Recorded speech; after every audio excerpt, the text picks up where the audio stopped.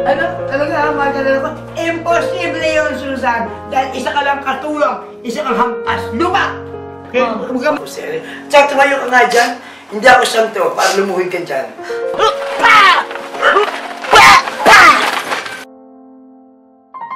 Sige, mamaya, pagdating Ariel mo, lumayas na kayo, ha?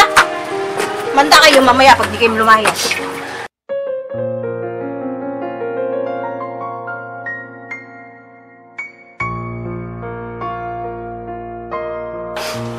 Malaga po ang sadya ko rito. May sakit po si Ariel. Isa kang hampas lupa! Okay, huwag ka man naginip para hindi ka mahal na anak ko, ha? Tatulong sa mga gawaing bahay. Hindi naman po kasama yung pagluluto doon eh. Kabago-bago mo pa lang. Nagre-reklamo ka na. Ano gusto mong gawin ko? Mabubulong ka sa bilungguan! Habang buhay kang Bubuin ko ulit ang pamilya natin, Susan. Mahal na mahal kita.